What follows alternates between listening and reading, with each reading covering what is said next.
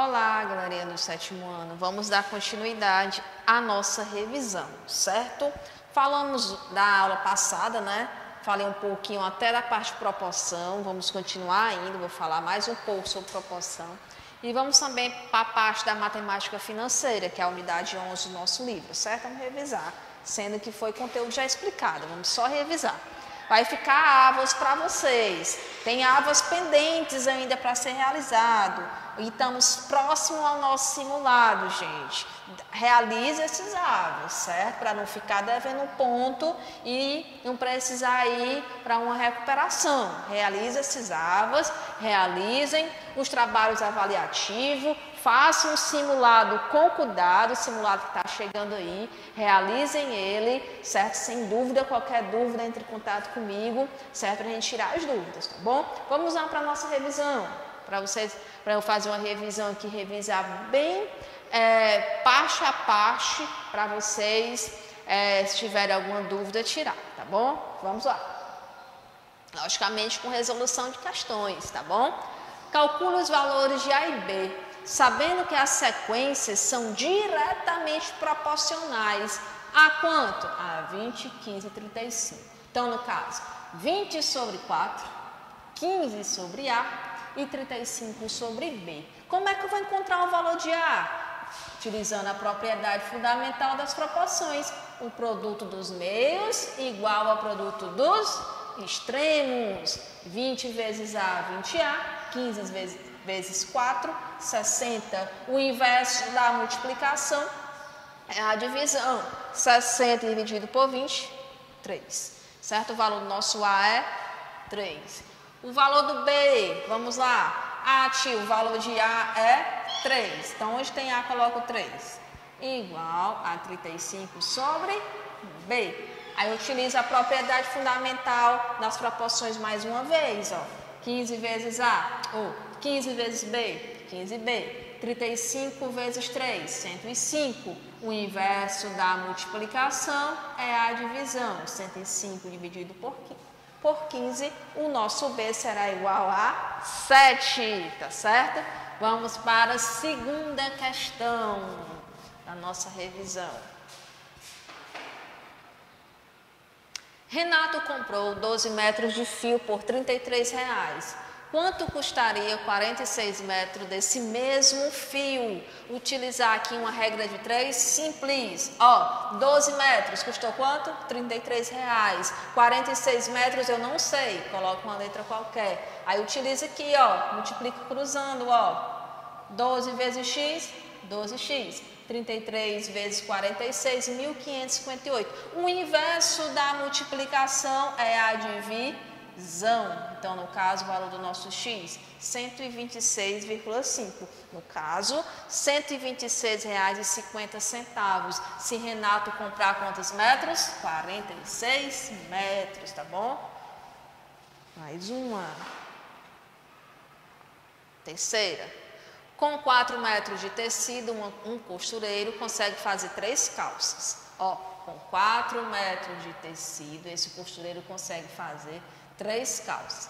Quantas calças ele consegue fazer com 24 metros de tecido? O que é que eu vou fazer? Regrazinha de três simples. 4 vezes x, 4x. Aí eu vou multiplicar 24 vezes 3, certo? Na hora que eu faço lá, ó, 24 vezes 3, quanto é que eu vou obter? 24 vezes 3 é 72. O inverso da multiplicação é a divisão, certo? Então, 72, né? O inverso da multiplicação é a divisão, 72 dividido por 4, 18 calças. Então, com 24 metros de tecido, ele consegue fazer 18 calças, tá certo? Vamos ao nosso item B. Olha o item B. Quantos metros precisará para 24 calças? A. 4 metros, ele faz 3 calças. É, se for 24 calças, são quantos metros? X. Mesmo jeito, ó, 3 vezes X, 3X, igual, agora vou multiplicar o quê? 24 vezes 4, 24 vezes 4, 96. O inverso da multiplicação é a divisão. 96 eu vou dividir por 3. 96 dividido por 3, 32 metros. O que, que isso significa? Então, para fazer 24 calças, ele vai precisar de 32 metros de tecido. Preste atenção na revisão, o simulado chegando aí. Preste bastante atenção. Agora, a matemática financeira, a parte da porcentagem. Encontra as porcentagens abaixo. Quanto é 80% de 50. Tenho duas maneiras para fazer. Eu posso dividir 80 por 100, ou eu posso ir fazer uma, coisinha mais fácil, né? Corta zero com zero, esse zero corto com esse e multiplico 8 vezes 5, que dá justamente 40. Então, 80%.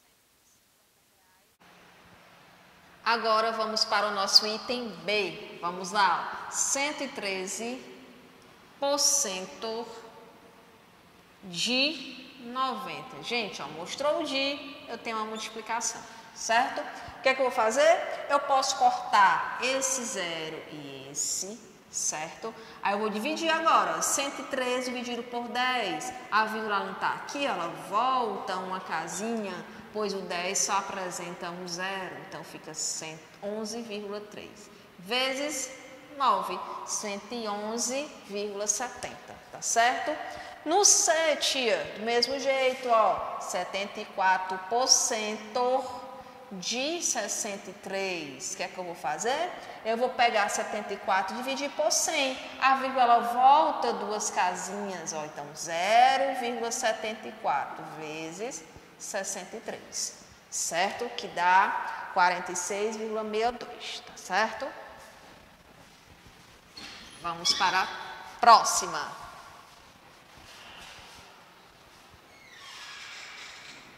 Olha essa, calcule as porcentagens a seguir. Ó, cuidado, 30% de 50% de mil carros. Primeiramente, 50% de mil. Ah, metade de mil, 500. Aí, 30% de 500. Corta dois zeros com dois zeros, multiplica 3 vezes 5, 15, acrescenta um zero, 150 carros. Tá bom? Olha o nosso item B, nosso item B, ó, 120% de 40% de 200. Primeiramente, 40% de 200. Corta dois zeros com dois zeros, 4 vezes 2, 8, acrescenta um zero, certo? Aí você vai fazer o quê? 120% de 80, certo? O que é que eu posso fazer? Corta zero com zero, ó. Cortou, cortou, corta esse, corta esse, multiplica 12 vezes 8, certo? Aí você encontra a sua resposta, tá certo? Seguindo. Converta cada número decimal em porcentagem. Agora, tio, como eu vou fazer? Olha o nosso item A. 0,2. Como eu vou transformar em porcentagem? Basta eu pegar o meu decimal e multiplicar por 100. A minha vírgula anda quantas casinhas? Ó, uma, duas, pois o 100 tem dois zeros, então 20 por cento. Olha o nosso B, 0,08 vezes 100. A vírgula anda quantas casinhas? Uma, duas, então 8 por cento. Item C. Ó, tô indo assim. Item C, Item E aqui logo, ó. 0,485 vezes 100. A vírgula anda duas casas, ó. Uma, duas. 48,5%. Olha esse item G, vezes 100 também, ó. Duas casinhas, uma, duas. 734,5%. Esse lado, 1,3 vezes 100 a vírgula anda duas casas, ó. Uma, duas, 130 por cento. D, 0,201 vezes 100, duas casas, ó. Uma, duas, 20,1%. 34,72 vezes 100, duas casas, ó. 3.472%. Simples, certo? A gente estamos fazendo o quê? Convertendo o número decimal em porcentagem. É isso que fazemos. Por que, que multiplica por 100? Porque é porcentagem. Por esse motivo que você multiplica por 100. Ó, a quanto por cento de 20 corresponde um número 4? A 20, tia. A quanto por cento a quanto por cento de 20 corresponde o número 4? 20 é 100%. 4 é quantos por cento? Eu posso fazer assim, certo? Ó, 20 vezes x, 20x. 100 vezes 4, 400. x será igual a 400 dividido por 20. Cortou 0 com 0, ó. 40 dividido por 2, 20 por cento. Aí eu consigo descobrir a quanto por cento 20 corresponde ao número 4, que no caso 20%. Tio, não entendi. Olha o item B que você vai entender agora. Ó. A quanto por cento 20 é 100%, certo? 5 é quantos por cento? X. Mesmo jeito, ó. 20x, certo? 100 vezes 5, 500. X será igual a 500 dividido por 20. Cortou 0 com 0, 50 dividido por 2, 25 por 100. Tá certo? É isso que conseguimos, é com esse método que conseguimos resolver essa questãozinha aí, tá bom? Da nossa revisão. Ó, dos 24 chocolates que ganhei na Páscoa, já comi 75%. Quantos chocolates ainda tenho? Primeiramente, é que eu tenho que saber quanto é 75% de 24, certo? Tia, não dá para mim cortar zero aí. Qual é, o que, que eu posso fazer para resolver essa questão? Você pode fazer o seguinte, você pode dividir 75 por 100, certo? que dá 0,75, pois a vírgula volta duas casinhas, ó. Aí, vezes 24, 0,75 vezes 24, 18. O que é que eu vou fazer? São quantos chocolates? 24. Menos 18, aí eu faço 24 menos 18, dá 6 chocolates, que é justamente a nossa resposta, tá bom? Mais um aí, ó. Sites de jogos costumam oferecer promoções em determinadas épocas do ano para alavancar suas vendas. Qual o valor do desconto e o preço final do jogo, visto que o desconto era de 75%? Ah, quanto é 75% de 80? Aí você consegue encontrar o valor do desconto, certo? Tenta fazer os cálculos que vocês conseguem. Mesmo jeito a outra, ó. Agora, 170 era o jogo. Com 75%, qual o desconto? 75% de 170. Tá bom? Então, com isso, galerinha, vamos encerrar aqui a nossa aula de revisão.